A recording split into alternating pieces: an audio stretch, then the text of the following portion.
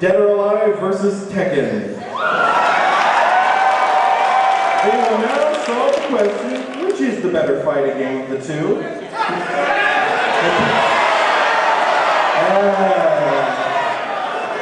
Now playing for DOA is Rory Staffen. His character of choice will be Ein. For Tekken, we have Alan Toby using Lei Lu Wang.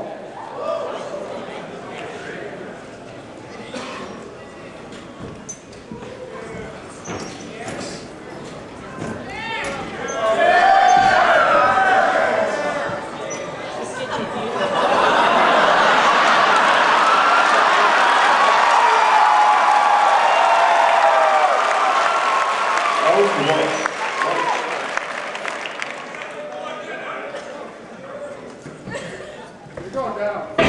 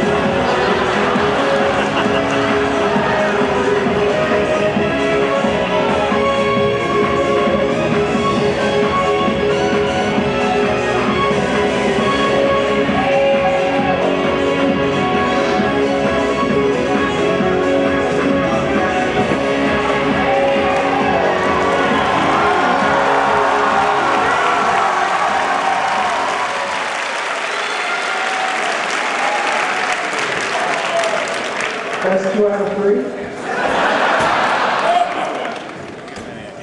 Okay. He's lost. And that was, it's